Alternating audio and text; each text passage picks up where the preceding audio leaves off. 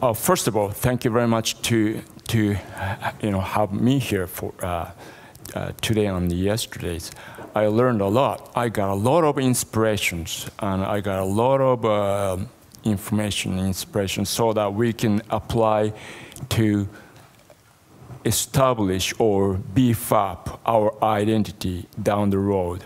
That's the point. And today, the point I want to make is we are still uh, on, in the process of moving forward and to identify ourselves. The, the fact is, we've been making, like I uh, explained yesterday, our history goes back to 1973, so over 40, 45, 43 years. We've been making whiskey for long, focus on high quality stuff, being the clean and estery. That's our uh, philosophies. Oh, good, good. Anyway, those are the stuff uh, I prepared, but you, maybe that's too small. But let me talk and finish it. This is just uh, this is uh, things I'm talking is just uh, asking um, questions to you all and also ask ourselves how we can identify ourselves and how make things different from others. Um, yesterday we talked about our uniqueness and the styles what we are making. First of all, under the philosophy of clean history, we are making lots of uh, different style of whiskeys so that we can uh, deliver and appeal to Japanese consumer. We never thought about going abroad up until recently. Feel like uh, these days we were discovered from uh, people abroad. We start to get a lot of attention, but up until recently, uh, uh, when you speak of Japanese whiskey, Suntory, Nikka, and Ichiro's malt, Kirin, you're making, not making the whiskey, you're making beer, isn't it? That's the question, the impression. And they being the, uh, under the branch of Kirin Brewery, that's huge, multi, uh, tens of billions dollar business. But uh, when it comes to whiskey divisions, of course, we're making a little bit over 2 million liters uh, alcohol a year for malt, both malt and uh, grains. But you know, today talking about big and small, to us, size is not the issues. How we can identify and how we make that our whiskeys thinking about being the uh, uh, distiller and the blenders for, uh, I mean, making uh, whiskey at the foot of Mount Fuji. What's the Japanese whiskey should be?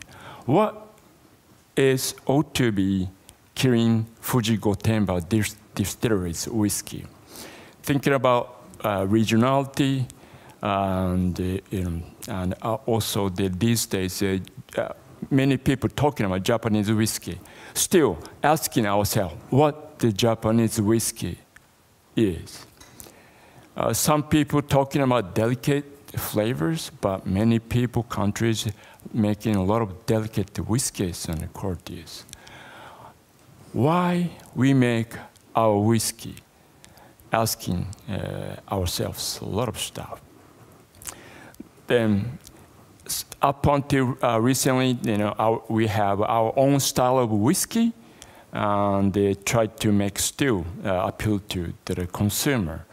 But look, uh, looking forward, what we can do, what's our strength, and what we can identify ourselves, what we can proud of, what things we can do to make to the next level those are the uh, uh, thought process ourselves. This moment, oh, that's disappeared. Uh, our focus, point of focus is uh, grain whiskies. Yesterday showed uh, we uh, three in large categories we make three different style of grain whiskies. Uh, in different uh, configura config configuration of stills, light, medium, and heavy stuff. But those area uh, we can uh, do more to make our whiskey different from others. Some people asking the uh, yeast, and some people uh, talking about the wood. And the yeast you can find anywhere, and the wood source. Our now this moment American white oak. That's the main focus, but there are a lot more other woods. Those are the area for the grain whiskey we can do. And speaking of the yeast, from my, my experience, for example, uh, with the Four Roses, making a bourbon, normally using one or two yeast at most, but the Four Roses using five different uh, kinds of yeast combination with different recipes. I'm not promoting about Four Roses today, but in, in uh, significance of yeast characters. The different yeast make a lot of uh, differences in the uh, whiskey. At the new pot, you don't see that much of differences, but depending upon how you age it, five years, 10 years, change a lot. Incredible aroma and flavor developed. So uh, work on the yeast, which we are doing. Uh, so in the future, we can some uh, introduce those different expressions by yeast too. Uh, but that's not you know uh, regionality or not specific to the foot of Mount at the foot of Mount Fuji. But what we can do is what how and what we can make uh, different uh, whiskies. So our focus is going back again, there are grain whiskies, uh, mostly for blends. We're making different varieties again for making the blends, but also we can make, uh we, we would have more opportunity to introduce a sing, uh, single grains in different uh, expressions. Those are the area uh, we are uh, now uh, focused on. The, let's see, that's uh, area. And uh, speaking of uh, our theme of um, uh, grain whiskey, I mean, that theme for grain whiskey, we call rich grain uh, speaking of uh, grain whiskey for blends, people think about more filler, like I mentioned yesterday. But there's so much about opportunity to promote or make things uh, different from others by working on the grain whiskey. Uh, some of you probably uh, tasted or how, you know, how many people tried uh, our single grain yesterday? Oh, Thank you. More, more, than I thought. But anyway, there should be some. Uh, try. Uh, that's uh, just one of a type of a grain whiskey. Uh, that's batch kettle stuff, uh, low more stuff. But that's the one of example by itself. It's Kevin mentioned, you know, Girvan 28 years like uh, creme brulees. Ours our own style, more like, uh, how do you say, in, uh, there's no such English, but uh, uh, not the sugar cane, but it reminds you of uh, brulee or marron glacé in France. I mean, like a rich, uh, nutty, and sweety character, and reminds you of also uh, raw cane sugars, really deep and sweetness. Those are the character we want to enhance in the grain so that contribute to the, the flavor profile of our blends. That's the area, area we're working on. And speaking of uh, going back, uh, the theme, uh, rich grain, that's uh, the, what that means is we try to promote richness in grain whiskey people uh, never thought of, but also enhance richness in the grain whiskey uh, in order to get another, eh, you know, range of uh, whiskeys. Speaking of uh, Japanese whiskey industry, there's no, uh, how do you say, market for bulk. We cannot, we, we not, there's not opportunity to buy their bulk or exchange each other. That's not their custom to do it. That's the reason why we're making so many style of whiskey by ourselves, for ourselves, to express. That makes uh, us really uh, think a lot of us aspect how we can do that. So we have a lot of stuff to do. Of course, uh, uh try to use local ingredient uh, like grains. That's one area, but other area we working on. Uh, being the Japan, the Futo, Mount Fuji cool regions, there's no such grain uh, grow locally. Of course, uh, looking in the whole of island of Japan, there are a lot of uh, local grains, but thinking about what's the local, what's the regional, narratives. Rather, we're focusing more uh, meticulous about process and how we can work, make things different, uh, fo focus on the grains. And again, uh, later on, probably you will hear, and also, um, um, speaking of uh, uh, grain whiskey production briefly, there it's uh, Whiskey Magazine, uh, pre, a couple of uh, issues uh, before, that was talking about our grain whiskeys. It's we promoting three umami brothers. That's just a concept or notion of our grains. Uh, our grain act like as a soup stock. Umami, you know, that as a Japanese uh, style of uh, dishes. We use a lot of uh, kelp, dried um, tunas, dried, um, uh, what's that? Uh, um, uh, mushroom, mushrooms, shiitake mushrooms, those stuff. It's, it's not, our grain doesn't taste like those soups, you know, but act like that, that once we blend together, uh, like uh, we see some uh, additional or synergy effect. One plus one does not equal to two. Just add more, express some other uh, flavors. So those are the stuff uh, we have and luxury having different style of grains. We, by working on improving that area, there are a lot more uh, expression of flavor profile we can make. That's area we're working on. So that's uh, our focus of uh, uh, grains. The last thing is today a uh, couple of times uh, mentioned about diversity.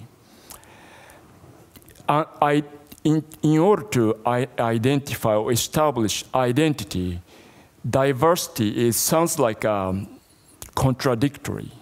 But speaking of uh, our situation, there's no exchange for the bulk.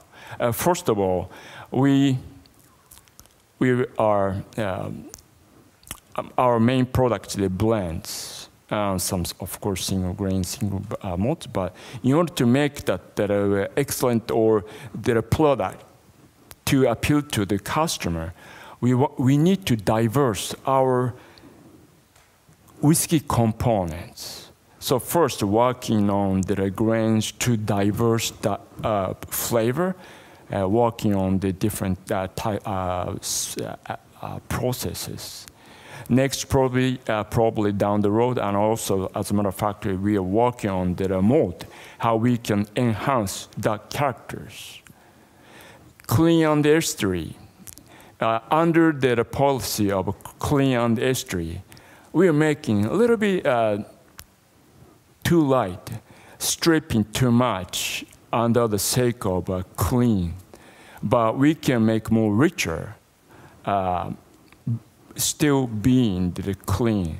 That's the area we, we, uh, we are working on. There are a lot more stuff uh, uh, we can do.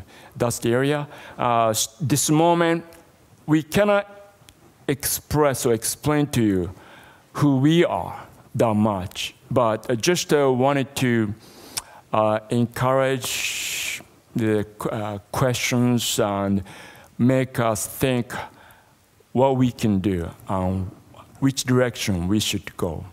So uh, that's pretty much end of the, uh, my preparation of the talk.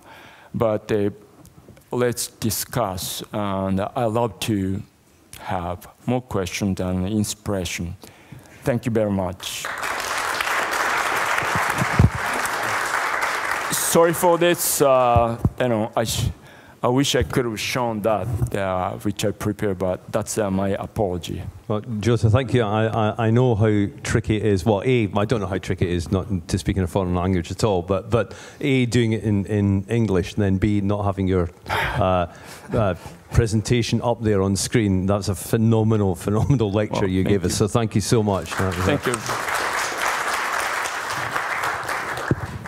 Curse technology. Uh, questions for Jota? We have a bit of time. Anybody, anybody, other than Patrick want to ask a question? Any any particular point? Or Johnny? You know, uh, Patrick, uh, you were you were first. You know. Yeah. Uh, you were talking about uh yesterday about the different production methods for whiskey. Um you mentioned one that i came across before which was the batch kettle could you would you be willing to explain to us how that works yeah uh I, I will invite, you know, please come over to visit us uh, down the road. Uh, the thing is, uh, batch kettle, that's uh, developed by the Seagram. Uh, so uh, currently, uh, the, the kettle, batch kettle system we are the only one in Japan, and also probably the Gimli, uh, owned by uh, used to be the you know the under the uh, yeah the Seagrams.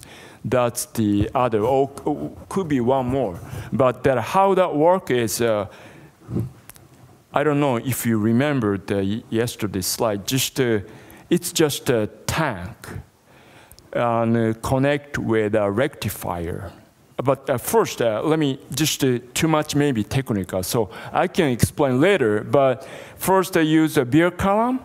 Then after we get that, uh, uh, like a little over 60% of alcohol put into the that kettle, hold it, then start to batch just as one batch, and then start to heat it up. Then uh, connect with a rectifier. That's part of our column, other uh, column distillation, but that uh, make by batch, but that conjunction with kettle. It's like a Holstein, I don't know how to say it. Uh, technically or theologically, that's the uh, mechanism, but they're different. They, uh, yeah, just connecting by pipes, but that's how we distill. So you strip it first, basically, mm -hmm. and then you put it in a... Uh, like a tank, a pot, pot, pot. Exactly, yes. And it comes off what strength? It comes off the same, almost the same strength as your. Yeah, yeah. Uh, but, but the flavors 90, are totally different. Yeah, 94 percent. Yeah. Yeah. Yeah, but I mean, texturally, and, and this is the interesting thing about it, you know, uh, from a flavor point of view, aromatic point of view, flavor point of view, and a textural point of view, it's significantly different to, to the lighter style. So well, you should get one. I can see that in your eye, you know. well, as far as I know, in the some rum industry, uh, I don't remember exact uh, producers, but I heard uh, from my friend that somebody work that used to own by the Seagram again, but they're using that stuff. But I don't know why. But uh, people try to uh, do their own, so I don't know.